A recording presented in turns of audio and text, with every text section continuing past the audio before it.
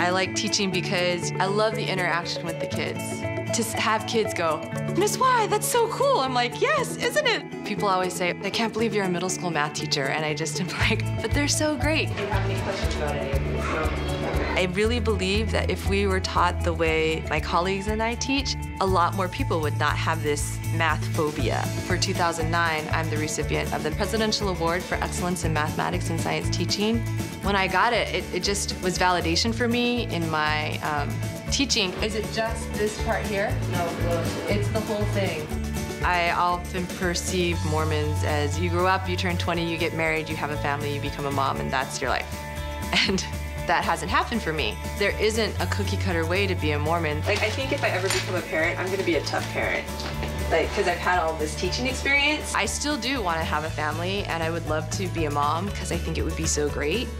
But what can I do in the meantime? I can be a great aunt. Oh, look at you guys. You're so inventive. There's more to life than just this. And if I didn't have the structure of my faith to guide me, it would I would feel a lot more unsure of my course.